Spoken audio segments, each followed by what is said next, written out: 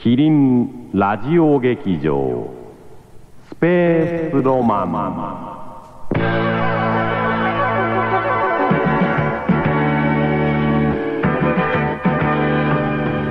爽やか透き通ったキリンレモンがお送りするキリンラジオ劇場。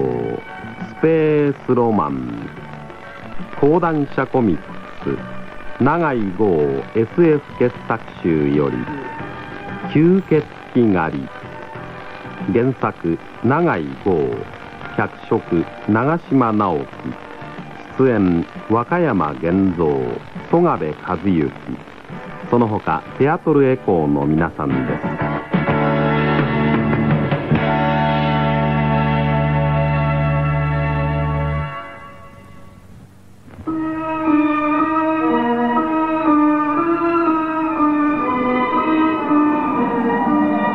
美しい雪山が突如として牙をむいた。山は荒れ狂い登山中のパーティーが山小屋に閉じ込められた。しかもその山小屋で異常な事件が起こったのだ。パーティーの中の石川夫妻が血のない死体として発見されたのだった。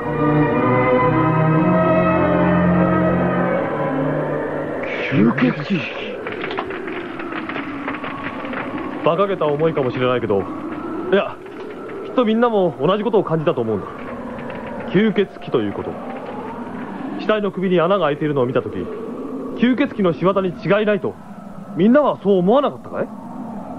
死体から血がなくなっているのを知った時に。誰一人として答えるものはない。西条はお構いなしに喋り続けた。吸血鬼っていうのはスラブ民族の間に伝えられた伝説の怪人だっていうことだ。でもこの際吸血鬼が実在するかなんて議論はやめにしよう。何しろ現に仲間が2人死んでいるんだからな。しかし本当にそんなことが。2人死んだんだ。しかも2人とも一滴の血も残っていなかった。これは事実なんだ。吸血鬼が迷信なんかじゃなく実際にいるんだって考えるしか仕方がないじゃないか。ストーブの炎がパッと大きくなり西条の顔を照らし出した俺は吸血鬼に詳しい。いいか聞いてくれ。吸血鬼をやっつけなきゃならない。吸血鬼が十字架で逃げるっていうのは映画や小説の作ったデタラメだ。吸血鬼を殺すには太陽の光に当てるか胸に杭を打ち込むか首を切り取るしか方法がない。待てよ西条。この小屋には俺たちしかいないんだぜ。吸血鬼が隠れる場所なんかないじゃないか。え？それに外はものすごい吹雪なんだ。そうだ西条考えすぎだよ。本当にそう思ってるのか？小屋の戸が開けられた様子もないんだよ。貴様は一体吸血鬼がどこにいるって言うんだ？俺たち5人の中だよ。みんなは西条を凝視した。この5人の中に吸血鬼がいるんだ。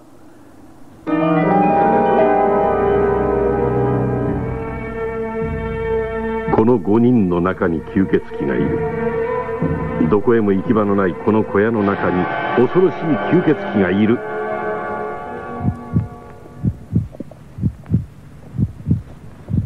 5人は全身に重苦しい恐怖がのしかかってくるのを感じていた。この中に吸血鬼がいる。この5人の中の一体誰が？一体誰が？岡田か？浅井か？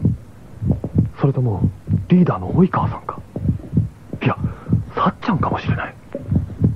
とにかく吸血鬼がこの中にいる以上どうしても吸血鬼を借り出さなければならない。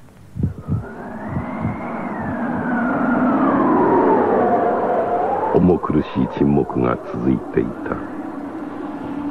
やがて西条がその沈黙を破った。吸血鬼に血を吸われた人間は吸血鬼になって蘇るっていうんだ誰か死体に杭を打ち込んでくれないか。岡田がピッケルを持って立ち上がった。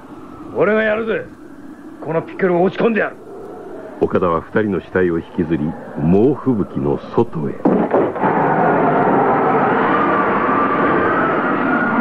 その夜吹雪は衰えを見せずに吹き荒れていた。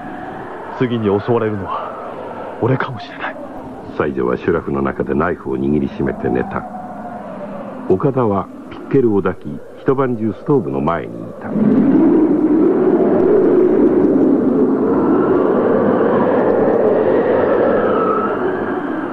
翌朝浅井がシュラフに入ったまま死んでいた。岡田及川がストーブの前に座りっぱなしの岡田に飛びかかった。お前お前が吸血鬼なのか何？お前はちょっとここで起きていたんだ。それなのに浅井が死んだ。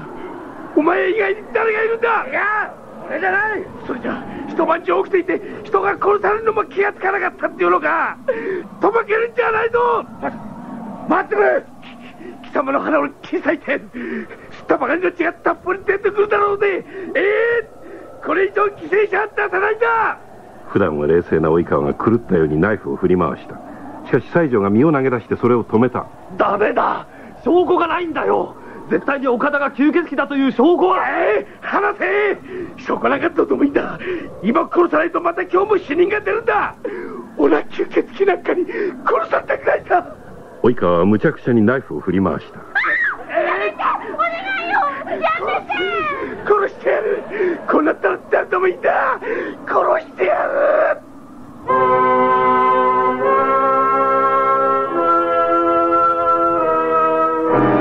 川は暴れまくった。そしてそれを止めようとする西条と激しくもつれ合うのだった。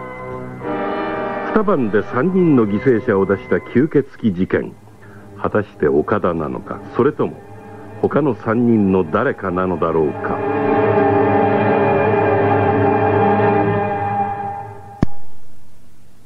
キリンレモン渚のイメージトリップ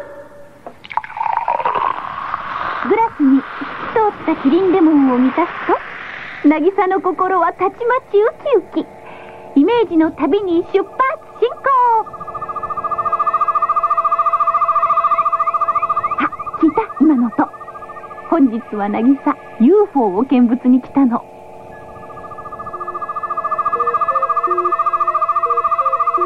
らまた。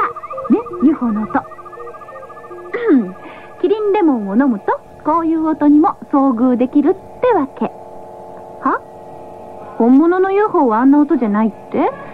ええふーん。君もいろいろ理屈を UFO ねシャワーを浴びながら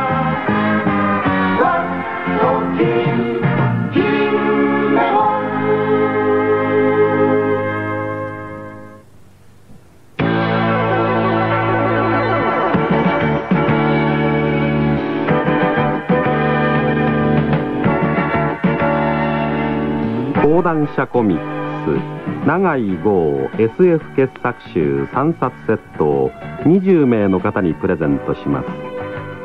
郵便番号100-100番。東京千代田区有楽町日本放送。キリンラジオ劇場の係まではがきでお申し込みください。爽やか透き通ったキリンレモンがお送りしたキリンラジオ劇場スペースロマンを終わります。